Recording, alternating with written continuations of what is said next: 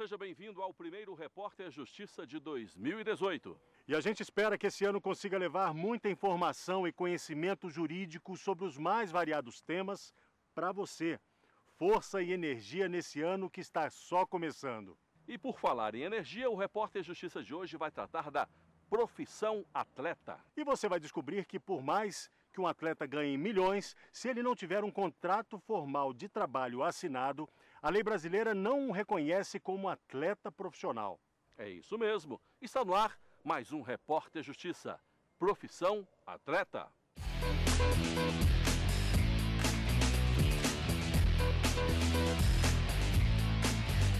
O tamanho do maior brasileiro de marcha atlética da história está estampado do lado de fora do estádio. A faixa mostra que a cidade onde Caio Bonfim nasceu tem orgulho dos feitos dele.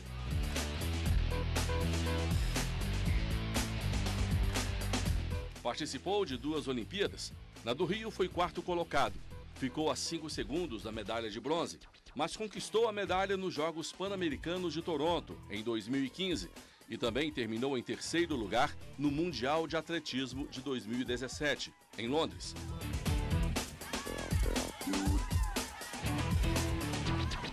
Isso coloca Caio como o número 3 do mundo.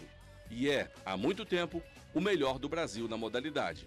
Era um orgulho e, e, nunca subiu nada na minha cabeça porque minha mãe foi oito vezes campeã brasileira, campeã ibero-americana. Então eu sabia que era muito pouco o que eu fiz, né? Perto do que ela tinha feito. Então nunca, nunca foi vaidoso. Eu só sabia que ano que vem ia ter outro mundial, eu queria participar e queria ser melhor ainda. Vai parar? Vamos, vamos! Descontrai, isso aí. Vamos, relaxa, relaxa o ombro, é isso aí. A mãe do Caio já foi atleta e hoje é treinadora dele. Será que o atletismo está no DNA? Eu não sei, né? Mas eu acho que influencia o, o fato de você trabalhar com determinada coisa e o seu, a, seu filho gostar, né? Porque tem muitos pais que têm determinadas profissões e os filhos não querem seguir. E eu penso que o que eu fiz, como eu fiz, é, fez com que ele gostasse e quisesse também, né? É, fazer. Então, eu não sei se é DNA, se é a gente que influencia de certa forma, mas eu me sinto muito gratificada por, por isso. A gratidão não é só da mãe. Desde que Caio se transformou em um fenômeno no esporte, tem atraído admiradores e novos atletas. Marchadores, corredores, todo mundo quer treinar com o melhor. Preste atenção nessa menina aí. O alongamento é o prenúncio de que ela vai começar a correr já já. Correr não, marchar. É claro que ter o melhor atleta brasileiro em um determinado esporte como vizinho é muito bom. É o caso da Thaís, que é vizinha a lá do Caio. Ela já praticou outros esportes, mas não se deu muito bem. Um dia, aqui no estádio, ela viu o Caio treinando e se perguntou: será que eu posso fazer este esporte? Sim, ela pôde. E hoje compete não só no Brasil, como em outros países também.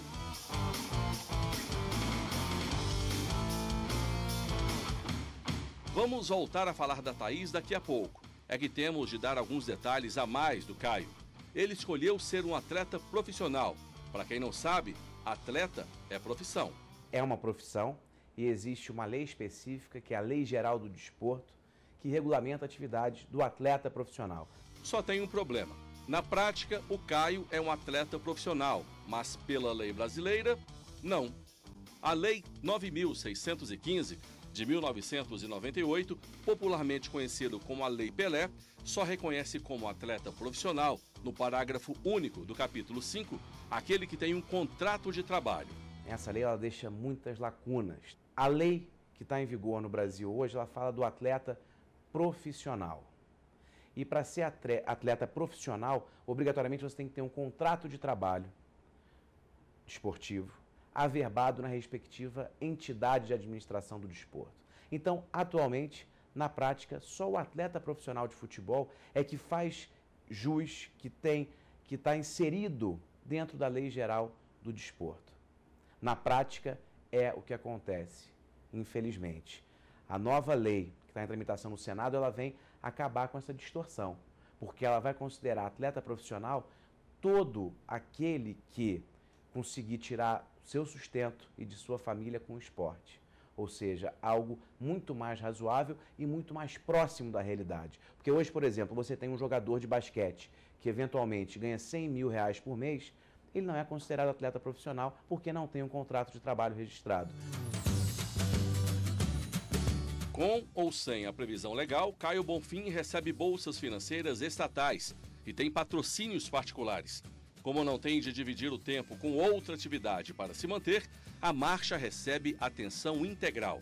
A realidade dele é diferente do que viveram atletas anos atrás. É bem diferente da época da minha mãe. Minha mãe não tinha esse incentivo financeiro, por exemplo, né? Ela teve que capengar muito. A gente já tem um apoio claro que não é só você virar atleta que você vai ganhar, você tem pré-requisitos, né? Você tem que ter o melhor do país, ou tá, ser atleta olímpico, ou, ou, ou, ser medalhista em mundial, você vai tendo salários melhores, que é esse apoio que a gente precisa para ter o mínimo de estrutura para continuar. Porque o meu clube às vezes não tem condições de pagar para mim, às vezes a minha confederação brasileira não tem condição, e Brasília vem e entra com isso. Então acho que isso é fantástico para dar oportunidade, né? Essa é a palavra. A oportunidade de a gente mostrar o nosso talento fora daqui então acho que a gente está evoluindo, que isso não acabe e que a gente possa crescer mais para ter mais ainda praticantes e atletas. E se depender de atletas como a Thaís, o futuro do esporte vai ser brilhante. Lembra que eu falei que ela praticou outras modalidades antes de se habilitar na marcha? Bastou ver o Caio em ação para se interessar. Apesar de que, da primeira vez que viu o rapaz correr dessa forma aí, achou muito estranho. Eu pensei, meu Deus, o que é aquilo? Porque era muito estranho, para quem vem de fora assim, é muito estranho. A gente pensa, meu Deus, o que, que esse menino está fazendo? Mas aí depois a gente viu ele treinando e tal, aí a gente foi aprendendo. Aí depois que a gente aprende, a gente acostuma e se apaixona. A Thaís também é profissional, disputa provas pelo Brasil e já se aventurou no exterior.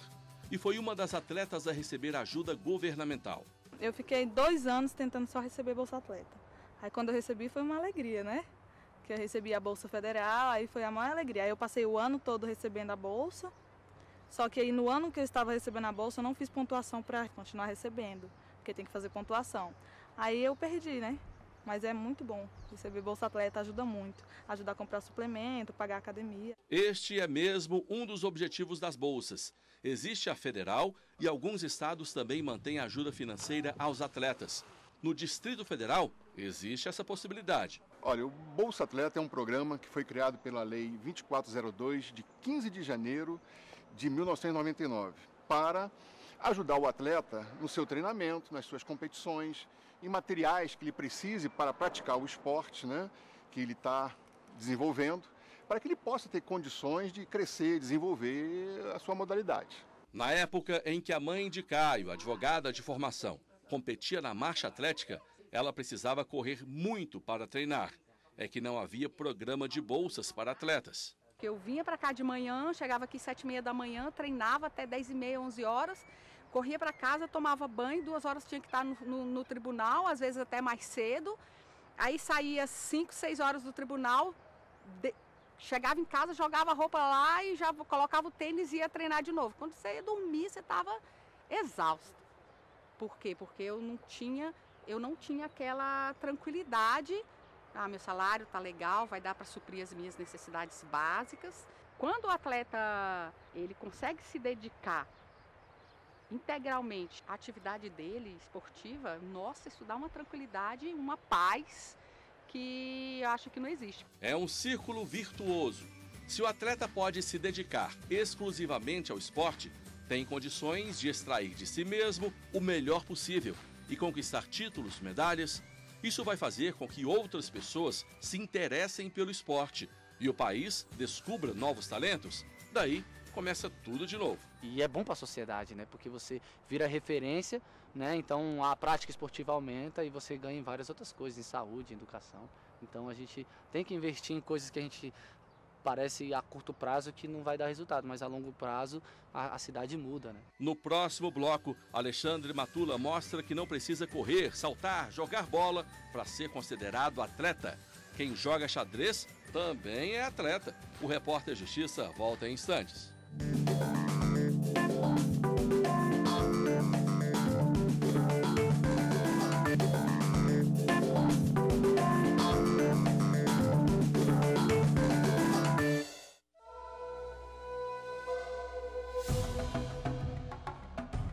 Tabuleiro é o campo da batalha medieval, onde os guerreiros são peão, torre, cavalo, bispo, dama e rei. E para vencer essa luta, tem que fazer o quê, hein, Letícia? Eu tenho que tentar dar checkmate, quando o rei não consegue ir para lugar nenhum e ao mesmo tempo sendo atacado. Se não tem espada, escudo nem lança, o jeito é usar como arma o raciocínio. Letícia descobriu desde cedo que poderia fazer muito bem isso. Eu tenho oito anos e eu comecei com cinco anos quando eu entrei nessa escola. Que na minha primeira aula eu vi o xadrez e eu comecei a gostar muito. Foi nesta sala de aula, que fica em uma escola particular de Brasília, que vários estudantes viraram atletas. Xadrez, por, assim, por incrível que pareça, é considerado esporte, porque é, o esporte, para ser uma modalidade para ser considerada esporte, ela precisa ter um certo número de participantes, precisa ter federações nos, em vários países, precisa ter uma regra bem estabelecida e o xadrez tem tudo isso. Então, é sim considerado esporte, é considerado um dos esportes mais praticados no mundo, perdendo apenas para o futebol e é sim um atleta, por mais que não tenha essa, essa, esse esforço físico que a gente muitas vezes lida, liga ao esporte, o xadrez tem toda a questão de preparação, tem toda a questão de treinamento e até desse condicionamento físico. Os, os grandes mestres de xadrez têm que ter o físico preparado, porque partidas de grandes mestres de, de alto nível costumam demorar horas. E se a questão física, se, se o condicionamento físico não está ok, acaba influenciando no jogo. Os alunos da escola têm aulas de xadrez na grade curricular. Existem três, três âmbitos do xadrez: tem um xadrez esportivo, tem um xadrez recreativo e tem um xadrez pedagógico. Aqui na escola nós trabalhamos com xadrez pedagógico. Todas as crianças do primeiro ao terceiro ano do fundamental têm uma aula de 50 minutos por semana. Na grade curricular, aula de xadrez mesmo.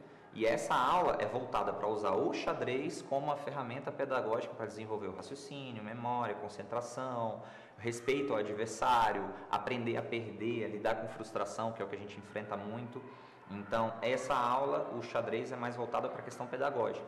Nós vemos todos os conteúdos que eles têm em sala e acabamos utilizando o xadrez para fixar melhor esses conteúdos e trabalhar essas outras questões mais sociais, cognitivas. Eu defendo assim sempre é, com, com, com muita intensidade o incentivo e o estímulo à prática desportiva. E aí, esporte no seu sentido mais amplo e extenso possível, inclusive entrando é, o esporte da mente. Que aí você tem o xadrez, atualmente você tem o e-sports, são os, os esportes eletrônicos que têm colocado milhares de pessoas em ginásios. Ou seja, não há como deixar de reconhecer essa situação não tem como ignorar, não tem como fugir. Atualmente você tem leis federais que falam de incentivo é, ao, ao, ao esporte, as próprias concessões, os critérios e requisitos para concessão de bolsas. Infelizmente, é, no, no último ano, nos últimos 12 meses, nós estamos observando que houve um corte muito grande de orçamento para o Ministério do Esporte.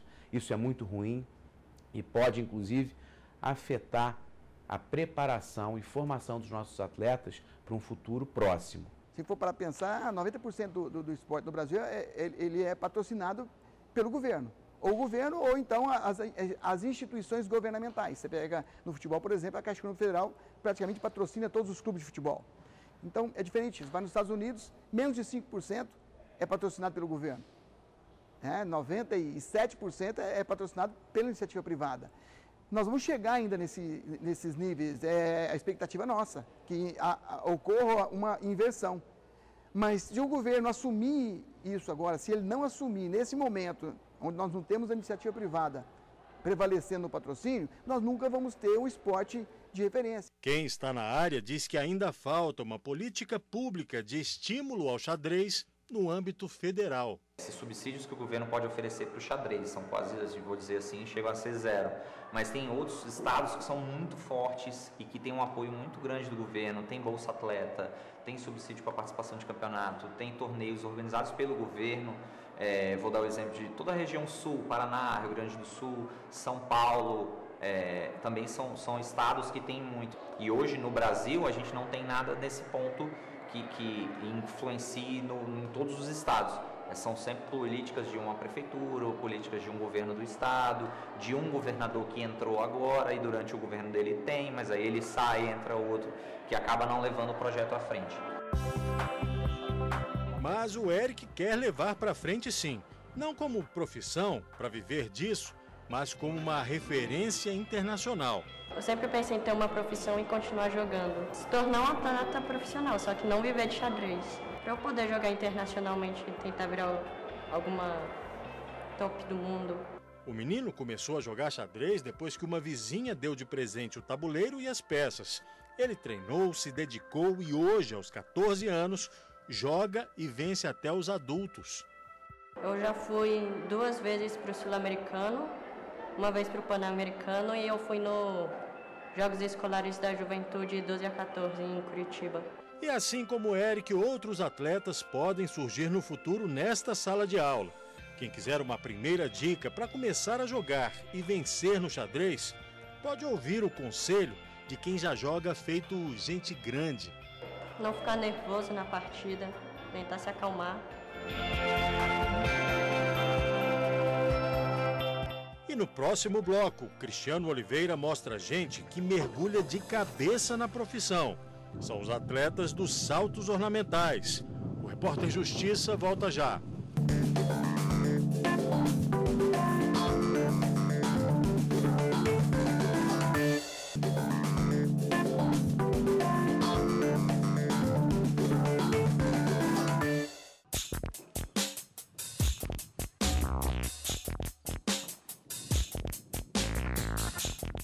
Repórter Justiça está no Centro de Excelência de Saltos Ornamentais.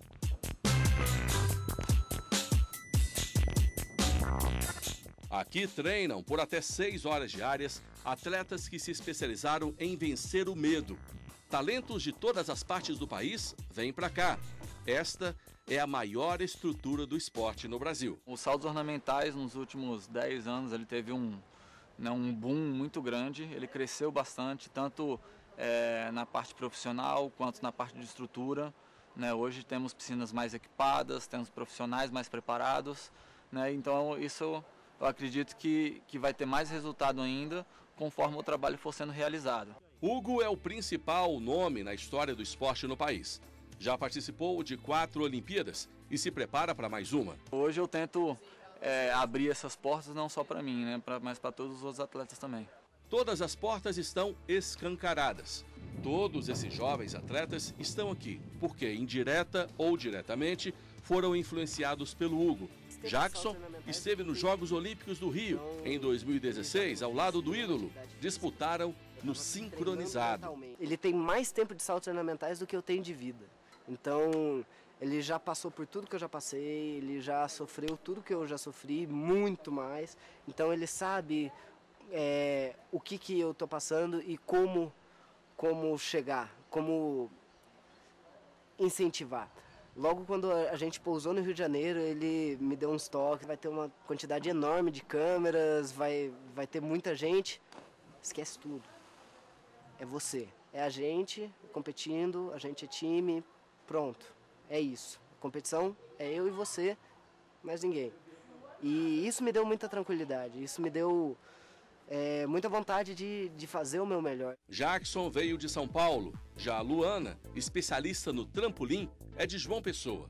E aí surge a pergunta: como alguém se interessa por uma modalidade que não é popular? Na época eu falava para minha mãe que eu queria fazer algum esporte. Então ela me levou até o clube para ver se tinha ginástica olímpica, mas não tinha, e o professor de saltos ornamentais me chamou para testar. E aí, desde ali, eu fui fazendo, gostando, participando de competições é, pequenas, ia me dando bem e fui crescendo desde ali. Mesmo os mais jovens que estão começando no esporte agora têm dedicação exclusiva aos saltos. É um dos requisitos para chegar ao nível olímpico. Se a gente está falando de um atleta que que vive do esporte, né, que, que compete em competições mundiais, Olimpíadas, ele precisa treinar aí dependendo da modalidade seis, sete, às vezes até oito horas por dia, né? E não só o treinamento é, físico é importante, como o descanso também faz parte. Né? Então é, é difícil para um atleta de alto nível conciliar a atividade esportiva dele com uma outra atividade profissional, né? porque ele também necessita descansar para recuperar as energias, recuperar os, os nutrientes, porque no dia seguinte tem mais uma bateria de treinamentos. Até aqui você viu que a determinação é qualidade indispensável para um atleta. É preciso estar pronto para enfrentar todo tipo de adversário. Mas quando o golpe mais violento não partiu do opositor, e sim da própria vida. A história que a Fernanda Tavares conta agora pra gente dá o real sentido da palavra superação na vida de um atleta. Eu trabalho todos os outros sentidos, principalmente da, da audição. É o que eu mais uso. Eu digo que um lado é, é para ouvir e o outro para enxergar. E quem vê esta jovem mal sabe o tamanho da força de vontade. Esporte como aliada em superação de vida.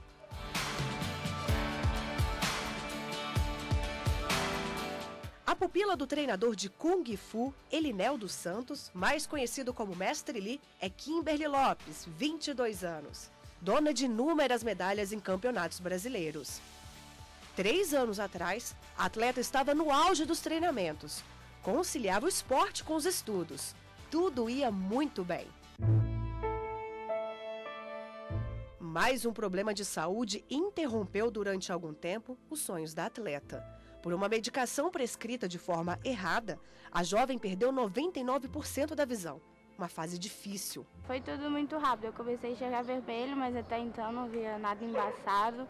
Só via vermelho. Aí eu comecei a fazer o tratamento com laser. Só que depois de cinco meses houve o descolamento da retina, né? Então foi muito difícil, porque ao enxergar tudo preto eu ficava desesperada e acabei tendo a crise de pânico, depressão, tomava antidepressivo, foi muito difícil, uma fase muito complicada. Ninguém mais aguentava viver dentro de casa, é, chorando e sem querer nem comunicação com as pessoas por medo. Depois de muitos meses sem sair da cama, Kimberly deu os primeiros passos. Aprendeu a aplicar a própria medicação sem a ajuda dos familiares, a mexer no celular e ativar o alarme para lembrar dos horários. O irmão mais velho, o Igor, maior incentivador, foi quem ajudou o atleta a dar o passo mais importante para o retorno aos tatames.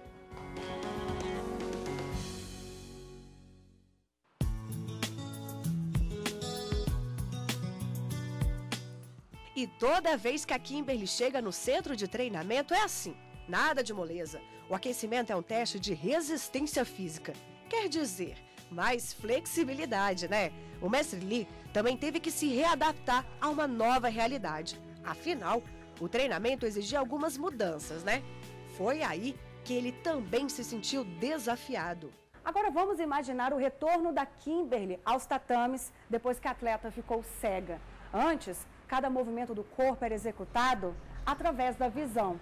Aí, a Kimberly se deparou com uma situação completamente diferente e teve que vencer principalmente o medo. A situação é um pouco parecida com essa que está aí agora no seu vídeo.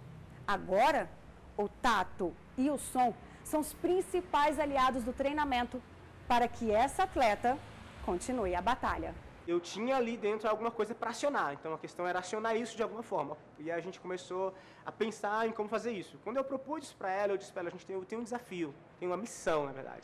Você topa isso comigo? Encarar essa missão comigo? E aí ela, tá, o que, que é? Eu falei, cara, voltar a competir, mas em alta performance, não é numa linha reta, topa. Lee, junto com o irmão de Kimberly, encararam o desafio juntos e foram ambiciosos. Colocaram o atleta no circuito de competições novamente.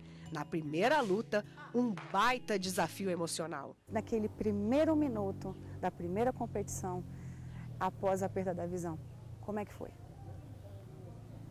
Foi eu digo que foi gratificante, mesmo que no momento eu estava muito nervosa, eu não conseguia parar de tremer, mas foi gratificante, mostrou para mim mesma que eu consigo, que eu sou capaz e que eu posso estar ali.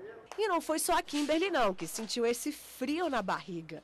Liu também ficou nervoso, emocionado. Ela tremia muito, tremia muito. Eu falei, calma, respira, né? Respira. Ela fica muito tensa, os músculos endurecem quando ela vai fazer alguma coisa assim.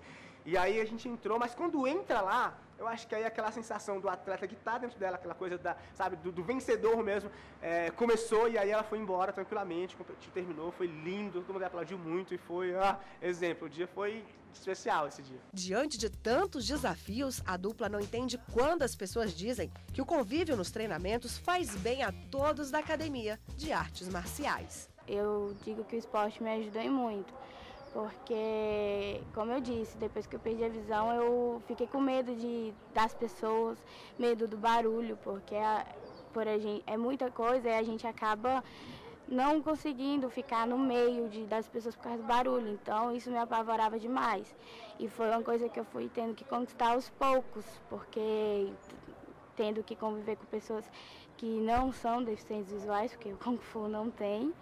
Então, eu fui foi um passo a passo e isso me ajudou bastante. Limitação superada através do esporte, lição de vida, ou melhor, uma nova vida. Daqui em eu espero tudo. Eu espero tudo por quê? Porque no começo, quando eu, eu, eu coloco para ela uma, uma situação, ela trava, mas rapidamente ela muda e ela vai e ela consegue qualquer coisa. Então, eu posso dizer que através desse trabalho que a gente tem com a Kimberly de marcial, que começou quando ela tinha 6 anos de idade, e deu uma pausa porque ela, ela, ela perdeu a visão e ele voltou, a gente deu um start e começou tudo de novo, a Kimberly voltou muito mais forte, muito mais resiliente, e eu, te, eu posso te dizer, inclusive, muito mais capaz, porque eu experimento fechar o olho e fazer as coisas que ela faz, para você ter uma ideia do que eu estou te falando. Eu já propus isso para algumas pessoas, e eles fizeram, eles perceberam a dificuldade. Então, eu não acredito que hoje exista um limite para ela.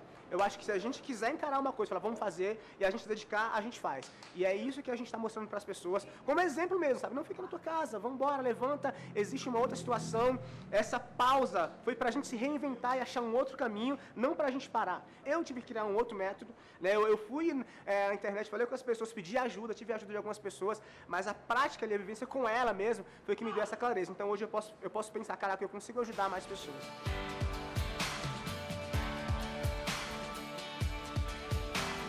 E assim a gente encerra o Repórter Justiça de hoje. Quer rever nosso programa? Basta acessar tvjustiça.jus.br. Se quiser mandar um e-mail para a gente, o endereço? repórterjustiça.stf.jus.br. Até a próxima. Até a próxima.